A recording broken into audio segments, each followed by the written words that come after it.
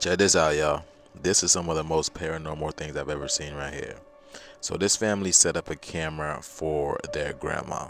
She keeps on having these sleepwalking episodes where she goes through things and she can't recall any memory whatsoever of doing these. So they set up a camera for her. But the crazy thing about it is, right? But just just check it out. Just check it out.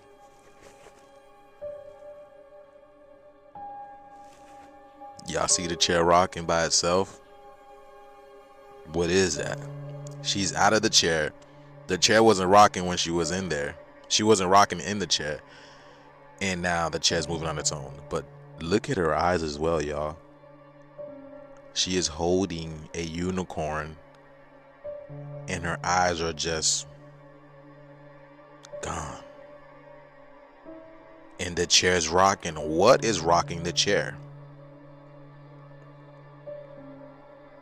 What is going on? And you see how her her her, her neck just moved like that? It is flurries moving around the camera, but I think that's just dust. So they would let her know all the things that she would do and she would have no recollection of this whatsoever. But I'm fascinated by that chair. What is going on here, y'all? The crazy thing is, these things are around us at all times, 24 7. We just can't see them.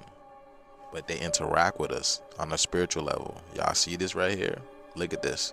And I said this before, as the world keeps turning and this grid is coming down, the veil of illusion is thinning, this is going to happen more and more, y'all. Remember all those movies? They, they were telling us a story. Our story was really getting to happen. But yeah, y'all, I hope you guys have been taking care of yourself. It's getting real out here. Let me know what you guys think about this video. Has anything like this ever happened to you or do you know somebody? Like, share, and follow for more videos like this. Thank you for tuning to my frequency. Keep up with me my other accounts especially on my YouTube, y'all.